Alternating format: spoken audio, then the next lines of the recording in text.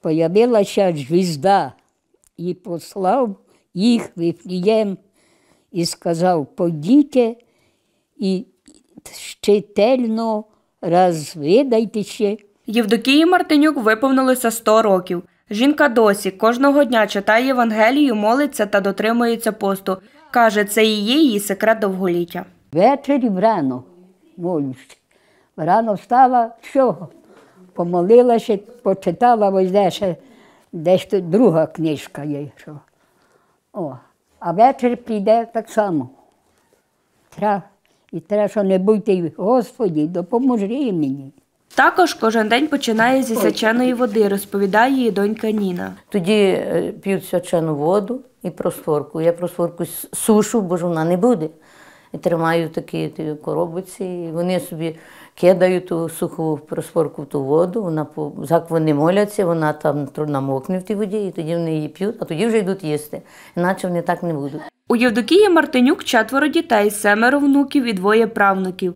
Жінка все життя працювала в колгоспі. Жали і в'язали, і машини возять такі парові, здорові, молотили, то ходили ж Господі, вилізу на того, на стіл, таке високо, ай Боже, подавай живо, а тут сили ще нема, не було. Чоловік Євдокії помер на заробітках. Вона залишилася сама з дітьми і свекрухою. Каже, жили небагато. І так жили.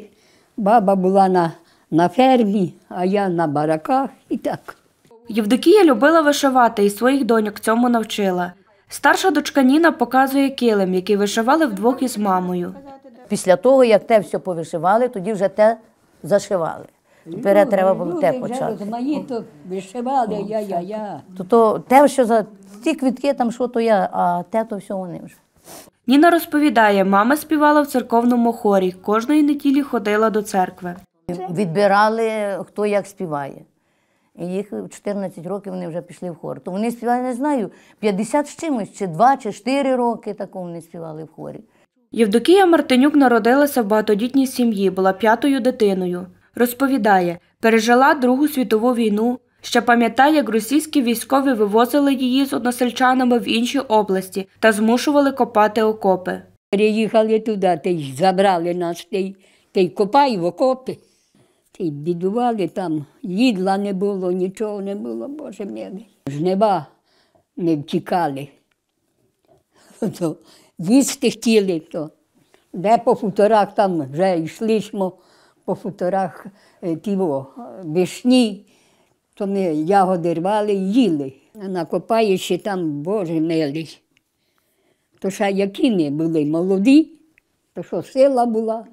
Тепер розповідає, війна знову застала їхню родину. Зараз її внук захищає Україну на передовій.